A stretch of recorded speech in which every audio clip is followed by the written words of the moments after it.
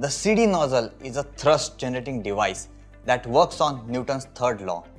The exhaust gases that come out of the rocket combustion chamber are led into the convergent section of the CD nozzle. Here, the flow is subsonic and its velocity increases as it travels towards the throat due to decrease in the cross-sectional area.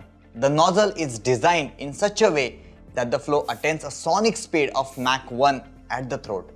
And the divergent section, the sonic flow encounters an increasing cross-sectional area that rapidly expands it. This rapid increase in volume forces the flow to exit the divergence section at a faster supersonic speed because mass flow rate has to remain constant owing to the mass conservation principle. By ejecting out mass at supersonic speed, the CD nozzle generates sufficient thrust that is able to propel tons of payload against the gravity.